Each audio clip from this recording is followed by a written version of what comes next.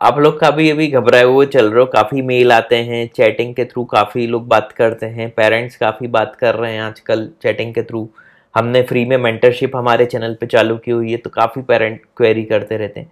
और अभी पिछले कुछ दिनों से बात करके लग रहा है कि बहुत सारे लोग घबराए हुए हैं।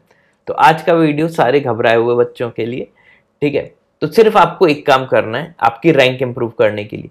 देखो, ये वैसा कोई भी फर्जी टाइप का वीडियो नहीं है। कि दस दिन में आईपी मैट निकाल लो, पंद्रह दिन में आईपी मैट निकाल लो। लेकिन हाँ ये जो दस पंद्रह दिन बचे, इसमें आप अपनी रैंक इंप्रूव कर सकते हो। लाइक आपकी जो भी रैंक आने वाली आईपी मैट इंदौर में या किसी भी जिप मैट, रोहतक में, वो आप इंप्रूव कैसे करो, उसका एक मैं तरीका बता सकता हूँ। तो बस उसको फॉलो कर लो तो आपकी रैंक ज़रूर इंप्रूव होगी। और हो सकता है कि आप इंदौर भी निकाल लो। तो चलो, शुरू करते हैं आज का। और जो लोग मेरे बारे में ज़्यादा नहीं जानते तो बस इतना सा देख लो। बाकी बताने की ज़रूरत ही नहीं। और ज़्यादा जानना है तो मेरे यूट्यूब चैनल पे आई थिंक हज़ार करीब वीडियोस होने वाले नाइन हंड्रेड तो ही गए होंगे। वो पूरा देख लो तो मेरे बारे में सब कुछ जान जाओगे। ठीक है, चलो शुरू करते हैं। ठीक है। अच्छा ये भी, आजकल मैं ये भी लिखने लगा हूँ। Your confidence is the only key to your success समझ रहे हो? तो ये चीज़ तो एक की रूल है। अगर आप में कॉन्फिडेंस ही नहीं है तो आप कोई भी एग्ज़ाम नहीं निकाल पाओगे। और अगर कॉन्फिडेंस है तो हो सकता है आईपी में बहुत टफ भी आ जाए तो भी आप निकाल लो।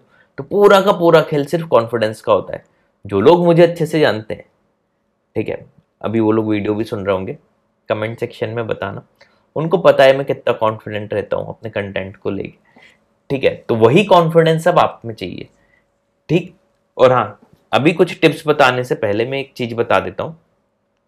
अगर आपको कोई भी परेशानी आ रही हो डिमोटिवेशन हो रहा हो, परेशान हो रहे हो, है ना, कुछ भी आपको प्रेशर लग रहा हो तो आप अपना नाम सिटी सिटी तो बस इसलिए कि मुझे पता चल जाए कि आप कौन सी सिटी से बोलते हो, बात कर रहे हो। टेन, ट्वेल्थ के परसेंट है ना, और आपका जो भी कंसर्न है, वो आप हमारी वेबसाइट www.catipmet.com इस पे जाके आप पूरी डिटेल भर के अपना जो भी कंसर्न है वो पूछ सकते हो। अच्छा कंसर्न में जितना डिटेल में पूछोगे उतना अच्छा मुझे गाइड करने में लगेगा।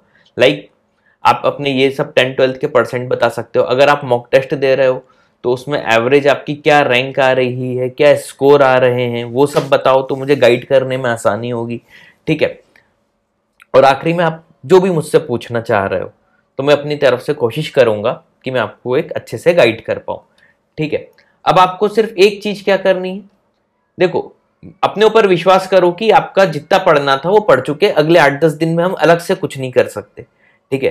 तो अलग से जब पढ़ नहीं सकते, अलग से कुछ और नहीं करना है तो सिर्फ़ एक काम करना है, और उसमें आपका फ़ायदा क्या होगा? तीनों सेक्शन का आपका भला होगा, है ना? नॉर्मली हम पढ़ाई करते हैं तो एक बार में एक सेक्शन की पढ़ाई करेंगे कि हम या तो मैथ्स करेंगे या डीआईएलआर करेंगे या वर्बल करेंगे, है ना? लेकिन सिर्फ़ एक चीज़ ऐसी है मॉक टेस्ट ठीक है? मॉक टेस्ट देते समय आपके उसी टू आवर्स में आपका सब कुछ हो जाएगा। तो मॉक टेस्ट पक्का अच्छे से दो। और मॉक टेस्ट देना कैसे? ये आज तक मैं बता रहा हूँ। अगर मेरी पर डे 20 बच्चों से बात होती है तो मैं ये पाता हूँ कि 19 स्टूडेंट्स को मॉक टेस्ट देना आता ही नहीं है।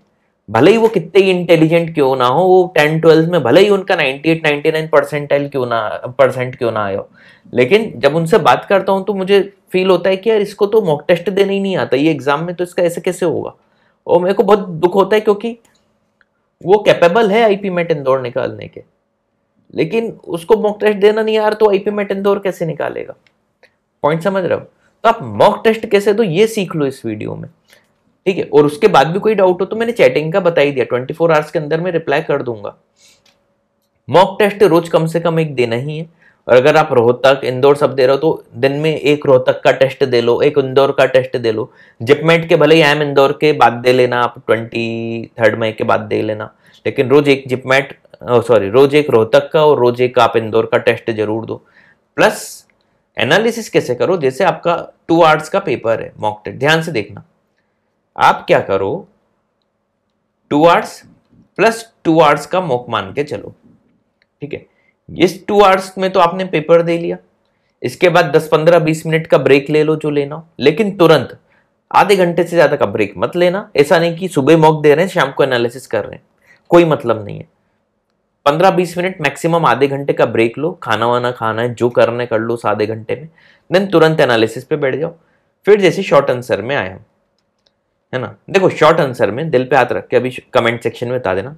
मैं जो अच्छे बच्चे भी देख रहा हूँ, वो ट्वेंटी फोर थे थर्टी टू के एवरेज मार्क्स ला रहे हैं। आप इनमें से फॉलो कर रहे हो तो देखना।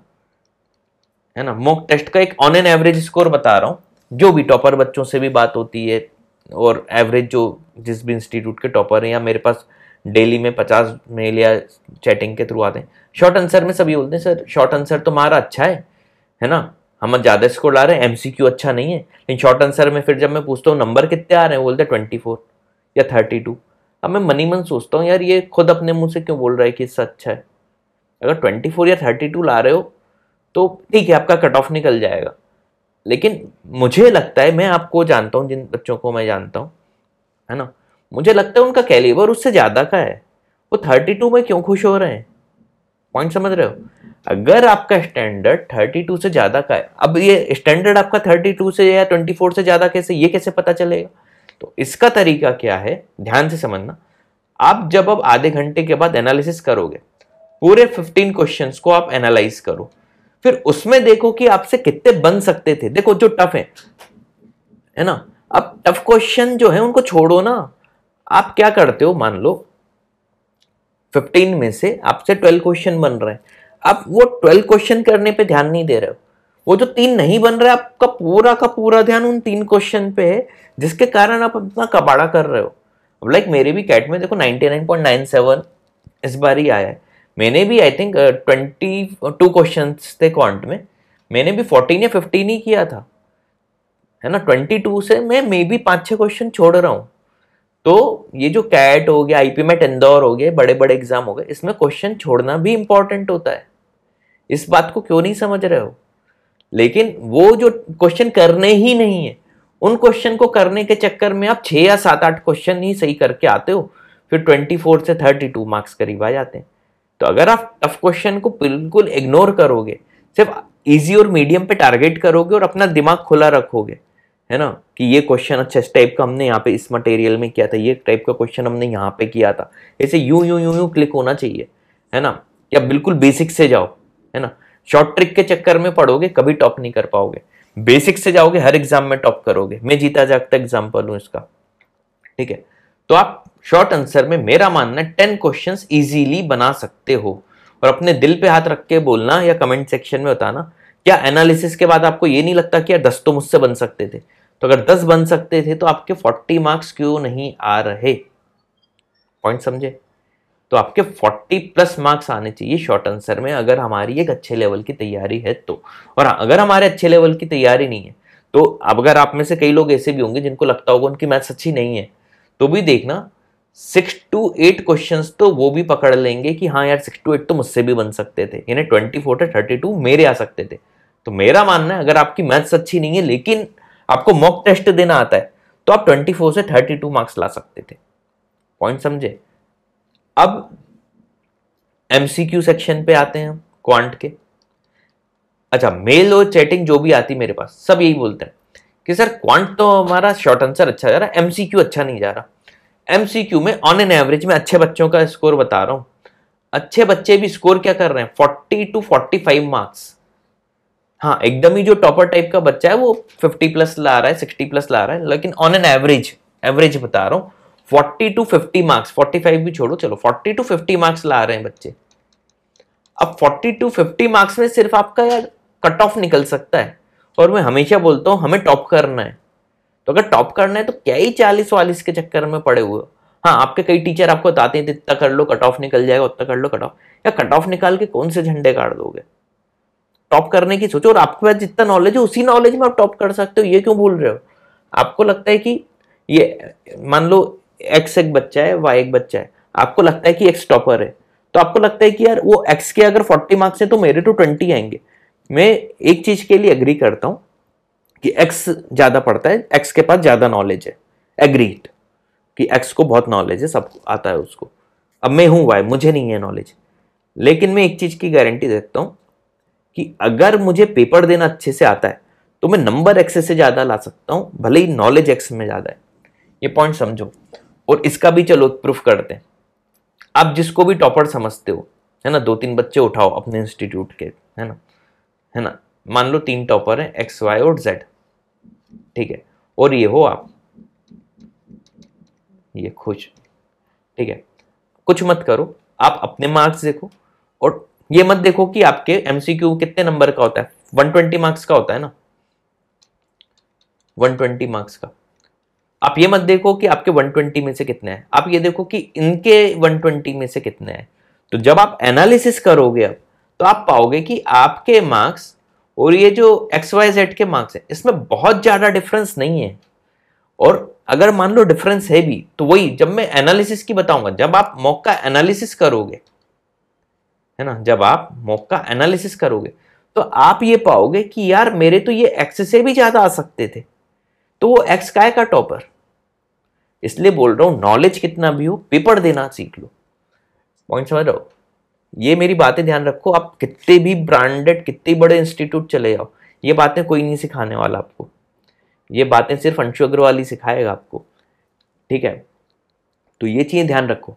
आपकी मैथ सच्ची हो आपकी मैथ अच्छी ना हो, आप वो एक्स को पीछे कर सकते हो। ये बस, लेकिन कॉन्फिडेंस तो आप ही का चाहिए, है ना? मेरे में कॉन्फिडेंस होगा, मैं ले आऊँगा। आप में होगा, आप भी ले आओगे।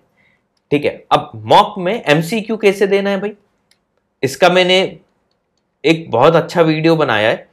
मेरी लास्ट के एक दो चार वीडियो देखना, जिसमें मैंने DILR के पूरे सालों के जितने भी अभी तक हुए 2019 से 2023 तक के, सारे के सारे डी मैंने एक ही वीडियो में सॉल्व करके आपको बता दिए, और किसी में भी दस मिनट से ज़्यादा नहीं लगा। तो अब अगर हम सोचें कि अगर हमारी मैथ भले ही अच्छी है कि नहीं है, अगर लेकिन हम शुरू के टेन मिनट्स में डी आई एल आर का जो भी आई एम इंदौर सेट पूछने वाला है, वो अगर हम कर दें तो 10 मिनट में ही हमारे 20 मार्क्स पक्के हो गए। ठीक है? और 10 मिनट ये मैं मैक्सिमम बोल रहा हूँ। पिछले दो साल से जो आ रहा है, वो तो फाइव मिनट में ही हो रहा है। ठीक है? तो हम तो मैक्सिमम लेके चले कि 10 मिनट में भी अगर आ गए। और हाँ अगर बहुत टफ लग रहा है तो उसको छोड़ने का डिसीज़न दो मिनट में ले लेना। समझ रहे हो? अगर सेट इजी है तो पाँच मिनट में बना लो। थोड़ा सा मीडियम है, दस मिनट में बना लो।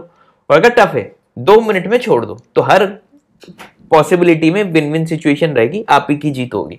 तो अगर वो एक्स टॉपर है वो डीआईएलआर के सेट में पंद्रह मिनट लगाने के बाद भी नहीं कर पा रहा तो उसका फिर होना भी नहीं है। और आप टॉपर नहीं हो। लेकिन आपने अगर छोड़ने का डिसीज़न ही दो मिनट में ले लिया टफ सेट है तो आपके यहाँ थर्टी एट मिनट बचे बचे हुए पच्चीस क्वेश्चन करने में। ठीक है? तो अगर इस स्ट्रेटेजी से चलोगे, है ना? ये वाली स्ट्रेटेजी अगर आपने फॉलो की, और आपने, मैं बता रहा हूँ थर्टी क्वेश्चन में से मिनिमम बोल रहा हूँ मिनिमम फिफ्टीन क्वेश्चन भी टारगेट किए है ना? तो आपके सिक्सटी मार्क्स आ जाएँगे। अच्छे अच्छे बच्चों के नहीं आ रहे हैं सिक्सटी मार्क्स एमसीक्यू के मॉक में। और हम जब भी एनालिसिस बताते हैं, है ना? चाहे आईपीएम इंदौर के पीवाई क्यूज का जितना भी एनालिसिस बताया है, आप मेरे पीवाई क्यूज को सॉल्यूशन देख लो। आप हमेशा पाओगे कि आपसे मिनिमम फिफ्टीन क्या? मेरे एनालिसिस के बाद तो आपको ऐसा लगेगा कि यार हम तो ट्वेंटी प्लस क्वेश्चन कर सकते थे सिर्फ़ एमसीक्यू में। मैं तो बोल रहा हूँ, आप ट्वेंटी प्लस नहीं भी करोगे ना फिफ्टीन कर लोगे तो भी सिक्सटी मार्क्स आ जाएँगे। ठीक है? तो ये सब छोटे छोटे तरीके हैं जिससे आपको एग्ज़ाम में रैंक लाने में हेल्प होगी। ठीक है? प्लस अब आते हैं वर्बल एबिलिटी में। तो वर्बल एबिलिटी में देखो मॉक टेस्ट के ही थ्रू प्रैक्टिस करो। प्लस अगर आपको लगता है कि आपका पैराजम्बल्स अच्छा नहीं है तो रोज का एक टारगेट बना लो कि आप मुझे ट्वेंटी पैराजम्बल्स जब तक आईपीएम नहीं हो रहा, रोज ट्वेंटी ट्वेंटी पैराजम्बल्स करने। बस, इतना कर लो। नॉर्मली बच्चों को जितनी भी मैं, ये जो अभी जो मैंने आज वीडियो बनाया है, ये मैंने अपना पिछले दस पंद्रह दिन का जो एनालिसिस मेरा रहा है, इतनी सारी क्वेरी में।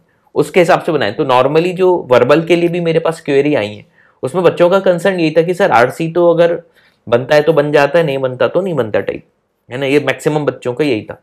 लेकिन अब पैराजम्बल ऐसा है कि जो कंस्टेंटली इन्हें कई बच्चों से बन रहा है और कई बच्चों से नहीं बन रहा है। तो जिनसे नहीं बन रहा है, उनको मेरी एक ही सजेशन है कि आप रोज, आज से लेके जब तक आईपीएम ना हो जाए, रोज 20 टू 25 पैराजम्बल्स रोज लगाओ। ऐसा नहीं कि आज ही के दिन दो तीन सौ लगा लिए, नहीं। रोज 25 से 30 लगाओ। 20 25 30 जितनी इच्छा हो। और कैट के पीवाई क्यूज ज़रूर कर लो पैराजम्बल्स बस। आरसी मत करना कैट के last four to five years के। लेकिन पैराजम्बल क्रिटिकल रीजनिंग टाइप के क्वेश्चन कैट के आप कर लो लास्ट फाइव सिक्स ईयर्स के। ठीक है? तो उम्मीद है ये वीडियो पसंद आया होगा। और वीडियो पसंद आया हो तो चैनल को सब्सक्राइब करो। और कमेंट सेक्शन में कुछ टेस्टी मनी तो बता ही दो यार। इतनी मेहनत करता हूँ आपके लिए। तो चलो thanks for watching this video